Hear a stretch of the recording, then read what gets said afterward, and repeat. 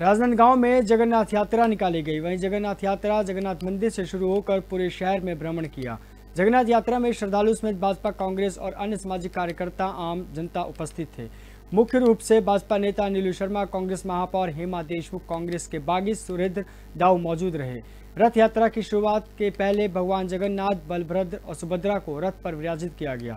समिति के पदाधिकारी और जनप्रतिनिधि ने छप्पन भोग लगाकर महाआरती समिति की और भगवान के रथ को खींचने का क्रम शुरू किया गया।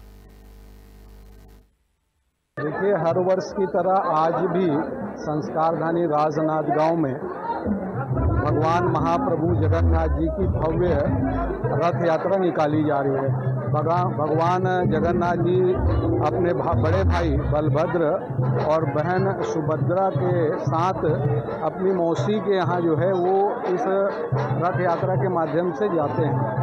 राजनाथ गाँव में भी इस रथ यात्रा को जिस तरीके से देश भर में मनाया जा रहा है उसी तरीके से इस संस्कारधानी नगरी में भी बहुत ही धूमधाम से मनाया जा रहा है। बड़ी संख्या में इस रथ यात्रा में श्रद्धालु और भक्तजन जो है यहाँ आए हुए हैं। मैं आज महाप्रभु जगन्नाथ जी की इस रथ यात्रा में अपनी ओर से सभी को बहुत बहुत शुभकामनाएँ देता हूँ। और भगवान जगन्नाथ से यही प्रार्थना करता हूँ कि सबके जीवन में कल्याण करें।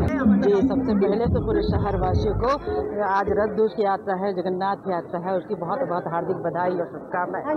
भगवान कृष्ण बलराम और सुभद्रा की जोड़ी आज रथ यात्रा के रूप में निकलती है पूरे शहर में भ्रमण करती है और हम सबको प्रेम का संदेश देती है। भगवान की कृपा सब पर बनी रहे ईश्वर की कृपा सबके यही सब भगवान से निवेदन है और सबको पुनः बहुत बहुत बधाई।